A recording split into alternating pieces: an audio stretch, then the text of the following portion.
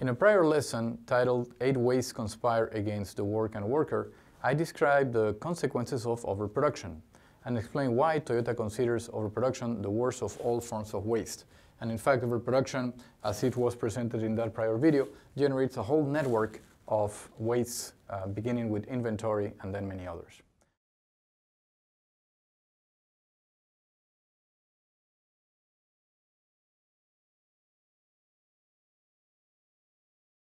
Now we're going to explore the reasons why we overproduce. Overproduction, first of all, we're going to define as making more than what you can sell in the near term, or uh, from an um, internal point of view, making more than what you can pass on to the next production step.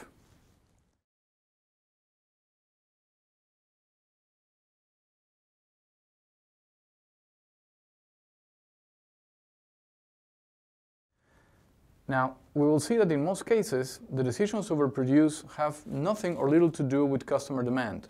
Instead, they are internally driven, and these are decisions which are made uh, not necessarily with any connection with uh, the markets.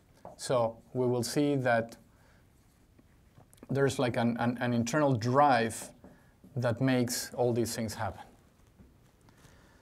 Teams produce more than needed, in some cases, to protect themselves against stockouts. But let's keep in mind that this is also, this tends to be especially uh, critical when there's somebody who may take the blame for this one-off event, which of course leads to many other things as to how we are compensated and, uh, and how we are uh, measured in our performance. Another reason why teams may overproduce or make more than what they need is to protect themselves from the um, consequences of having uh, inaccurate forecasts.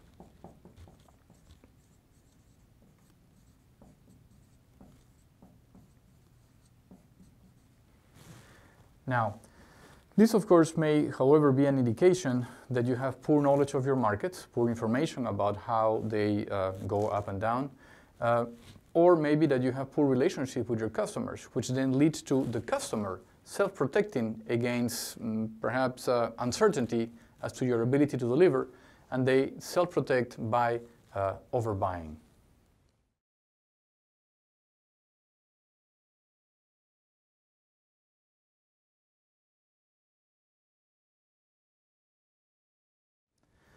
Companies also, especially those which are uh, like hard driven by sales teams, may want to overproduce so that they may sell with confidence. So this would be, uh, um, you may say, you know, let's let's make sure that uh, that production makes everything that we may be able to sell. And so uh, although production has to be driven by sales, this is almost like an, an, an exaggeration of this, uh, of this effect. Uh, if, if anything, the reason why I want to highlight this is because it shows a disconnect between the objective of, of the sales department and the objectives and priorities of production, where each one of uh, the departments separately tries to just maximize their own benefit, as opposed to maximizing the benefit of the whole of the company. Another reason why uh, overproduction, uh, when overproduction may be likely, is uh, when uh, you have individual or team quotas that rule behavior. So we're talking about the case where under and, and in this type of, uh, of circumstances, especially when you have what now is known as stretch goals, which are forced upon staff or, and teams or plants or offices or regions, but without giving them a corresponding means to achieve these goals, then this leads to a number of behaviors. For instance, employees will keep busy making things, making product, just to look busy. So this impacts the individuals. Supervisors will keep employees and equipment busy also to satisfy monthly targets. This now gets bigger, a bigger impact to, to teams and, and, and, and crews. And uh, managers will take uh, any means necessary in order to meet departmental goals. So this is an even further expansion of the impact of, of, of this type of behavior. Um, and uh, all of this compounds and makes production uh, ramp up, usually towards the end of a certain period uh, for which there was a, an, an, established quota. Um, and that leads to even more imbalances and even further variation.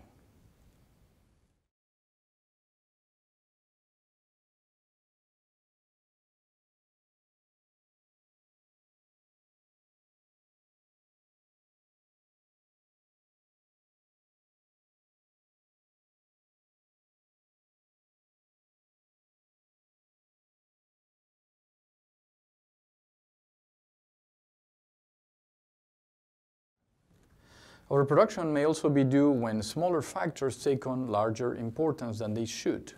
For instance, what happens when you have uh, materials? And by this we may mean uh, raw materials, but also uh, supplies. And they just happen to be available now. So when you have them available right now, uh, it may actually create an urgency to do something with them, such as putting them into production and creating more work in process uh, um, uh, uh, inventories. Another possibility related to this is that maybe there's a bargain on materials or on supplies. Therefore, this would lead to uh, the purchasing department taking advantage of that. But then, uh, now, once uh, all these materials we were purchased on a bargain um, and probably kind of bump up the level of raw materials that you may usually have, once they arrive to your plant or once uh, it's, it's time to do something with them, then they also are going to create this urgency to do something with them. Another possibility is equipment.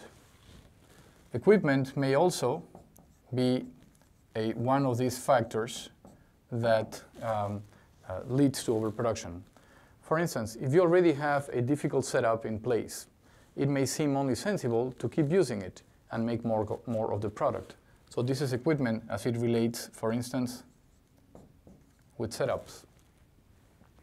Um, but does, don't you think that this actually means that perhaps we should improve the way in which we set up the equipment? This seems almost like an example of you know, the tail wagging the dog, a smaller factor having an influence on the larger one.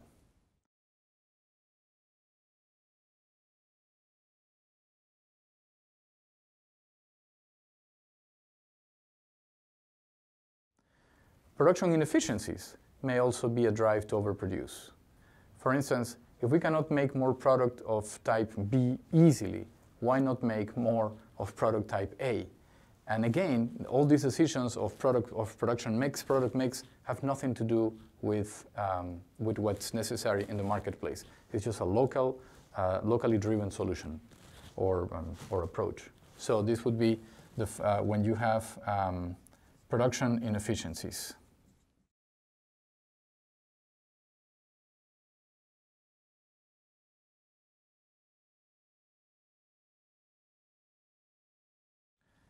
Now, if this seemed bad enough, then there is even a worse situation, which is when the production inefficiencies, such as low yields or poor quality, can drive to overproduce. This is what I would consider one of the worst, worst examples of reasons for overproduction. And it goes more or less like this. Somebody may say, well, let's make more of product A, which well, we don't make so well, we don't make with very high quality. Let's make more of it so that there is more that will pass quality control, so that then we may meet our quotas without rework. So I can even see, I have seen where people kind of try to give it a certain spin to say, well, we're not going to do any rework, we're not going to spend any money on rework, but the, the, the, the, if your quality levels are still low, the only way to produce more at the end without rework is just to make more, thus overproduction. And of course, the underlying problem of low quality is never addressed, never solved. Another reason is an accounting-related reason can also make a company to overproduce. What happens, for instance, when you have an expensive machine, expensive piece of equipment that is depreciating? Well, in that case, what is going to happen is that somebody will make the decision that that piece of equipment just can't stay, can't stay idle, logically. And so the supervisor in charge of it will keep it running uh, by the way, thinking that he's doing the company a great service. So in summary, we see that overproduction may not happen just because we want to make more product, but because For instance, we lack closer relationships with our customers that would allow us to avoid spikes in demand because we manage locally without company-wide objectives. So we end up making decisions which are good for one department, and then we create problems for the rest of the company. And we let uh, only financial metrics drive operations, ignoring the indirect costs, which may hide under production factors that uh, often go unchallenged. Um, and also, we uh, ignore the complexity of having more work in process, more bolts in the air, as the saying goes, which then drive up the cost of production. We will cover these topics in a future lesson. Thank you for your time.